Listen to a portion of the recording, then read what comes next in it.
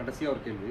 அதாவது மொழிவாரிய மாநிலம் பிரித்தும் அறுபத்தி மூணு ஆண்டுகள் வந்து கடந்து விட்டது மொழிவாரியாக பிரிக்கப்பட்டது அவசியமான ஒன்று அப்படின்னு நீங்கள் சொன்னீங்க. அதே நேரத்தில் அப்படி வந்து பிரிக்காவிட்டால் இன்னைக்கு நாடே வெடிச்சு பெருக்குங்க ஒரு கருத்தை நீங்கள் சொன்னீங்க. அதன் அடிப்படையில் இன்னைக்கு வந்து என்னன்னா அதாவது இந்தி திணிப்பு போன்றவற்றால் வந்து நம்ம வந்து தமிழ்நாடு தான் அதிகமாக பாதிக்கப்பட்டிருக்கதா ஒரு கருத்து வந்து நிலவிட்டு இருக்கு. இதிலிருந்து ஏன்னா அதாவது நீங்கள் இன்னொரு கருத்து சொன்னீங்க. நம்மளுடைய வரலாறு தான் மிகப்பெரிய வரலாறு. அது நிரூபிக்கப்பட்டு விட்டது கீழடியிலே. ரெண்டாயிரம் ஆண்டுகளுக்கு முற்பட்டதுன்னு. அப்படிப்பட்ட ஒரு தமிழ் இடம் இன்றைக்கு வந்து மீண்டும் தன்னெழுச்சி பற்று சுய நிர்ணயமா செய்யறதுக்கு என்ன அவங்களுடைய கரு கருத்தை வைக்க போறீங்க மக்களுக்கு? அதான் அப்படிப்பட்ட நம்முடைய தமிழ் இனம் வரலாற்று பெருமிதம் மிக்க இனம் கீழடி நாகரிகம் வந்து தமிழர் நாகரிகம். அது ரெண்டாயிரத்தி அறநூறு ஆண்டு என்பது குறைவானது அது சரியல்ல. அதை வந்து அந்த ஆய்வு செய்த நம்முடைய அமர்நாத் ராமகிருஷ்ணன் அவர்களே சொல்கிறார். அது சிந்துச்சமொழி நாகரிக காலத்தை சேர்ந்தது அது. ஒரு ஆறாயிரம் ஆண்டுகளுக்கு முந்தியது நம்முடைய நாகரிகம். இன்னும் தோண்ட தோண்ட அந்த உண்மைகள்லாம் கிடைக்கும். அப்படி வாழ்ந்த இனம் நம்முடைய அடையாளம் தெரியாமல் இருக்கிறோம் நமக்கு. நம்ம அதனால் நான் என்ன சொல்லணும்னா உலக போக்கில் போங்கிறேன் உலகம் பூரா தேசிய இன அடிப்படையில் மொழி அடிப்படையில் தான் நாடுகள் இயங்குது. நமக்கு வந்து நம்ம மொழி அடிப்படையில் தான் நம்ம நாடு நம்ம நம்ம மக்கள் தொகை வந்து பிரிட்டனுடைய மக்கள் தொகை விட அதிகம். தமிழ்நாட்டோட இது தமிழ்நாடு. சரிங்க அங்க என்ன மக்கள் தொகை இங்க என்ன மக்கள் தொகைங்க அங்கே வந்து ஒரு ஆறாயிரத்து ஆறு கோடி சொத்து இருக்கு ஆறு கோடி இருக்கு. நம்ம எட்டு கோடி பேர் இருக்கோம். அதுபோல் இவங்க அஹ், பிரான்ஸ் மக்கள் தொகையை விட நம்ம அதிகம். அவங்கெல்லாம் ஐநாவில் செக்யூரிட்டி கவுன்சில் இருக்காங்க நிரந்தர உறுப்பினர்கள்லாம் பாதுகாப்பு கவுன்சிலில் இருக்காங்க. நம்ம ஒரு பிரதியாக கூட இல்லை ஐநாவில் இல்லை. இப்படி வந்து நம்முடைய உரிமை தமிழ்நாடா தமிழ்நாடு தான் தமிழ்நாடு தான். இந்தியா தான் நான் இருக்கேன் இந்தியா ஐநாவில் இருக்கேன் தமிழர்களைத்தான் நான் சொல்லுகிறேன் ஒரு தேசிய இனம் அதற்குள்ள உரிமையோடு இல்லை. நம்ம மொழியில் பேசுவதே குற்றம் என்கிறார்கள். இப்போ ரயில்வேயில் போடலையா அவங்க? ரயில்வே ஊழியர்கள் தங்களுக்குள் பேசும் பொழுது ஹிந்தியில் தான் பேசணுங்கிறான் இப்போ இராணுவத்தில் வந்து இந்தியில் தான் இந்தியில் தான் பேசணும் இப்போவும் இராணுவத்தில் வந்து இந்தியில் இந்திக்குள்ளே தான் பேசணும். தமிழில் பேசினாக்கா அந்த குற்றம். அது என்ன தமிழ்நாட்டுக்குள்ளே அப்படி பேசுகிறத குற்றமாக்க போகிறான் ஏன்னா அதுதான் அமித்ஷா சொன்னார் ஹிந்தி வாரத்தில் நீங்கள் குறைந்தபட்சம் ஹிந்தி சொற்களை கலந்து உங்கள் தாய்மொழியில் பேசுங்க. அதே அதே நேரம் ஹிந்தி சொற்களை கலந்து பேருங்க பேசுங்க. குறைந்தபட்சம் ஹிந்தி வாரத்திலையாவது கலந்து பேசுங்க என்று தமிழ் சொற்களை நீக்கிவிட்டு ஹிந்தி சொற்களை அதிகமாக கலந்து பேசுங்கன்னு அமித்ஷா அறிவுரை சொல்கிறார். தமிழையே நீக்கி விடுவார்கள் காலப்போக்கில் தமிழையே நீக்கி விடுவார்கள் இந்த நிலையில் உலகம் முழுக்க தேசிய இனமாக தேசத்தோடு அதிகாரத்தோடு இருக்கும் பொழுது தமிழர்கள் தங்களுடைய உரிமையை இழந்து விட்டால் அடிமையாக போவோம். நமக்கு நம்ம மண்ணிலே வேலை கிடைக்காது. இன்னைக்கு யாருக்கு வேலை அதிகம்? வடநாட்டுக்காரனா வேலை தமிழ்நாட்டில். மத்திய அரசு நிறுவனங்களில் நூற்றுக்கு தொண்ணூறு தொண்ணூத்தஞ்சு பேர் வடநாட்டுக்காரன் நியமிக்கிறான் டெல்லிக்காரன். சூழ்ச்சியாக தேர்வுன்னு சொல்லிக்கிட்டு ஃப்ராடு பண்ணி ஆள் மாறாட்டம் செஞ்சு கேள்வித்தாளையும் பதிலையும் முதலே கொடுத்து தேர்வு எழுத வச்சு எல்லாத்துலேயும் ரயில்வேயாக இருக்கட்டும் பிஹெச்எல்லாக இருக்கட்டும் நெய்வேலியாக இருக்கட்டும் இன்கம் டேக்ஸாக இருக்கட்டும் எல்லா இடத்துலையும் வானூர்தி நிலையம் துறைமுகங்கள் எல்லாத்துலேயும் கொண்டு வந்து ஆவடி டேங்க் ஃபேக்டரி எல்லாத்துலேயும் வந்து வடநாட்டுக்காரனை வெளிமாநிலத்தை கொடுக்கலாம் நம்மவர்களை தமிழ்நாட்டிலே வேலை இல்லாமல் ஒதுக்குகிறார்கள். இந்த போக்கு போனால் நூற்றுக்கு நூறு தமிழர்கள் இருக்க முடியாது. நம்ம மக்கள் தொகையை விட வடநாட்டுக்கார மக்கள் தொகை அதிகமாயிடும்.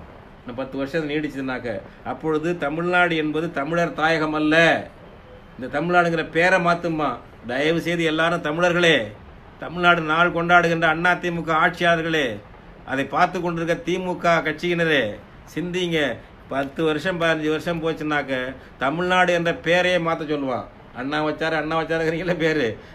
சங்க காலத்துலேருந்து தமிழ்நாடு இருக்குது சங்க காலத்துலேருந்து தமிழ்நாடு என்ற பேர் இருக்குது காப்பியங்களில் தமிழ்நாடு என்ற பேர் இருக்குது தமிழகம் என்று இருக்குது.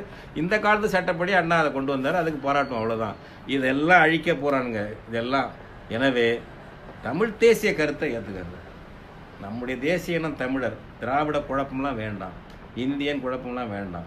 கான்ஸ்டியூஷனில் கூட ஒரு இந்தியாவை தேசம் என்று சொல்லவில்லை. அந்த முன்னோர்கள் எனக்கு பாருங்கள் இந்தியா ஏ நேஷன் இல்லை. India that is Bharat shall be union of states India அதாவது பாரதம் அரசுகளின் ஒன்றியம். ஸ்டேட் என்பதை மாநிலம் என்று மொழிபெயர்ப்பது தவறு. எந்த டிக்ஷனரியும் அப்படி இல்லை. ஆக்ஸ்போர்டில் சேம்பர்ஸில் எடுத்து பாருங்கள் ஸ்டேட் என்றால் மாநிலம் என்று எங்கேயும் ரீஜியன் ப்ராவின்ஸ் என்று எவனும் போடலை. அரசுன்னு பே- ஒன்று அல்லது தேசம் என்று. ரெண்டு தான் தே இருக்குமே தவிர ஸ்டேட் என்பது வந்து நாடுன்னு இருக்கும். ஸ்டேட் என்றால் ஒன்று அரசு அல்லது நாடுன்னு தான் இருக்குமே தவிர அதனால தான் யுனைடெட் ஸ்டேட்ஸ் ஆஃப் அமெரிக்கா என்று சொல்லும் பொழுது அமெரிக்க ஐக்கிய நாடுகள் என்று அந்த காலத்தில் நேர்மையாக மொழியாக்கம் பண்ணாங்க. ஃப்ராடு பிடிச்சவனுங்க தான் திருப்பி ஸ்டேட்டை மாநிலம்னு மொழியாக்கம் பண்ணான். இங்கே தெரியாமல் தெரிஞ்சாலும் அதெல்லாம் வஞ்சகமாக பண்ணியிருப்பானுங்க எனவே நமக்கு வந்து நாளைக்கு இந்த நிலைமை நீடிச்சதுன்னா எங்களை போல உணர்வாளர்கள் மட்டுமல்ல திமுகவே இங்கே DMK AIADMK number one number two கட்சியாக இருக்காது. பாஜக தான் வரும். நான் இவங்களை கேட்குறேன் உங்களுக்கு புதுச்சேரியில் ஏன் ஏன் ஜெயிக்க முடியல திமுக அதிமுக? நம்ம பக்கத்தில் இருக்குது கடலூருக்கு விழுப்புரத்துக்கு இடையில் இருக்குது வேறு எங்கே இருக்குது இந்த பக்கம் காரைக்கால் நம்ம நாகப்பட்டினமாக தான் இருக்குது ஏன் காங்கிரஸ் ஜெயிக்குது? ஏன் என்றால் வெளி மாநிலத்தவர் அதிகங்க அது வேணால் வரலாம். யூனியன் டெரிட்டரி மத்திய அரசு அதிகாரம். அவன் வந்து எவ்வளோ தான் துரோகம் பண்ணாலும் இனத்துரோகம் எவ்வளோ பண்ணாலும் திமுக அதிமுகவை ஆதரிக்க மாட்டான். டெல்லிக்கு எவ்வளவு சலாம் போட்டாலும் சல்யூட் அடித்தாலும் திமுக அதிமுக நம்ப மாட்டான். டே நீ தமிழ் போயிடா மாநில கட்சிடா? ஒரிஜினலாக காங்கிரஸுக்கு போகணுன்னா பாஜக பொண்ணு போயிடுவான். அதே நிலைமை தமிழ்நாட்டுக்கு வரும். எனவே நம்ம இப்படியே வாழ்ந்தோம்னு நினைக்காதீங்க தம்பிகளா திமுக அதிமுக தோழர்களே தம்பிகளே. எல்லாருக்கும் ஆபத்து வரும். தமிழ் இனம் தமிழ் மொழி தமிழ் பண்பாடு தமிழ் எல்லை இதை பாதுகாக்கக்கூடிய உணர்வு வேண்டும். இது சட்டவிரோதமானதல்ல. இந்தியா ஒரு தேசம் அல்ல பல தேசங்களை கொண்டது. இந்தியாவை ஒரு தேசம் என்று அரசமைப்பு சட்டம் சொல்லவில்லை. இந்தியன் என்று ஒரு தேசிய இனம் இருப்பதாக அரசமைப்பு சட்டம் சொல்லவில்லை. சிட்டிசன் ஆஃப் இந்தியா இந்தியாவின் குடிமக்கள் பற்றி தான் அது பேசுகிறதே தவிர தேசிய இனம் பற்றி பேசவில்லை. எனவே அரசமைப்பு சட்டம் கொடுக்கக்கூடிய வாய்ப்பை கூட நம்ம தமிழ் தம்பிகள் பின்பற்றுவதில்லை. தவறு நம்ம. அதோட பின்தங்கி இருக்காதீங்க ஒரு நடிகர் தெலுங்கு தேசம் என்று கட்சி வச்சிருக்காரு ஆந்திராவில் வச்சுட்டாரு. அது ஓடிக்கிட்டு இருக்கு. இங்கே விட திராவிடன்னு வச்சுக்கிட்டீங்களே கூத்தடிக்கிறீங்களே காலவாரி விட்டு நம்ம முதுகில் குத்தி ஐயா நியாயமா இது? ஒரு நடிகர் உங்களை பார்த்தா வச்சார். எம்ஜிஆரை பார்த்து வச்சார் அவர் ஒரு நடிகர். வச்சுட்டாரு நல்லா ஓடுது நம்மளும் கதை ஓடும்னு வச்சார். அவர் வெற்றி பெற்றார் ராமாராவ். தெலுங்கு தேசம் என்று சரியாக வைக்கிறாரு. இவங்க வந்து திராவிடம் இந்திய இதெல்லாம் பாரத் மாதா இதெல்லாம் சொல்லிகிட்டு இருக்காங்க. தீவிரமாக வருகிறது. இந்த ஆண்டு விநாயகர் சதுர்த்தி கொண்டாட்டத்தில் விநாயகர் அகவல் பாடவில்லை. அதற்கு பதிலாக ஜெய் ஸ்ரீராம்.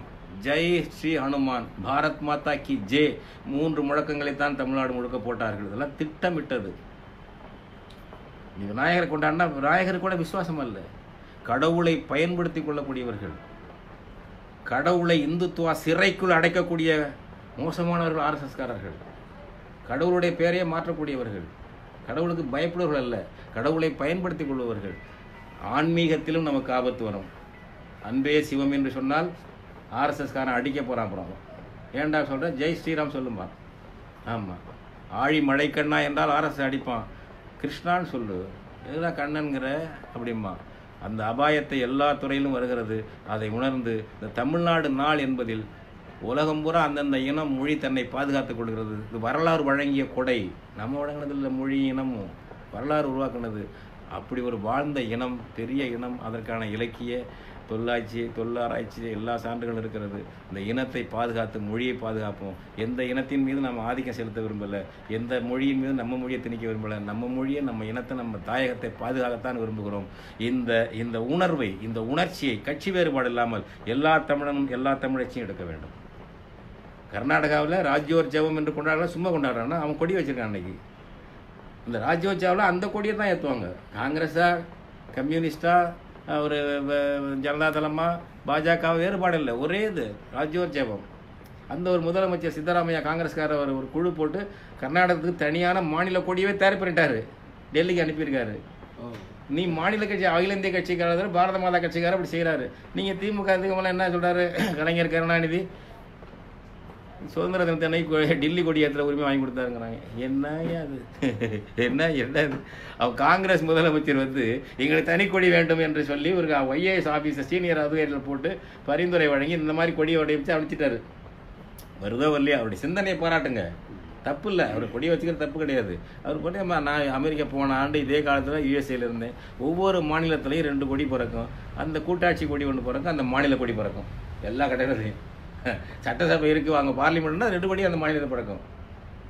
அது என்ன அங்கே ஏதாவது வெடிச்சு போச்சா கட்டணும்ல? மாநில கொடி கட்டுறதால. இவ்வளோ கொடுமையாக இங்கே அடக்கி மிருகங்களை விட கொடுமையாக அடக்கி வச்சுருக்காங்க இந்தியாவில் நம்மளை. இனிமேல் தயவு செய்து நீங்கள் வந்து உங்கள் மொழி உங்கள் இனம் நம்ம கட்சியெல்லாம் அப்புறம். இது இருக்கணும் இல்லைன்னா நம்ம அகதியாக போவோம். ஈழத்தில் நம்மளை அழிச்சிட்டாங்க. நம்ம எடு தலையெடுக்காமல் பண்ணுறானுங்க அதே தமிழ்நாட்டில் செய்ய பார்க்குறானுங்க மொழி உணர்ச்சி பெறுங்க. பாதுகாப்பு உணர்ச்சி பெறுங்கள் நம்ம மொழி இனம் நம்முடைய தாயகத்தை பாதுகாக்க வேண்டும் என்ற உணர்வை பெறுங்கள். அதுக்கு எந்த பாதை அது எந்த பாதை நீங்கள் உங்களுக்குள்ள பேசுங்க. அடிப்படையில் எல்லாரும் இந்த உணர்வை பெறுங்கள் என்று கேட்டுக்கொள்கிறேன். நன்றி வணக்கம். ஐயோ இது வரைக்கும்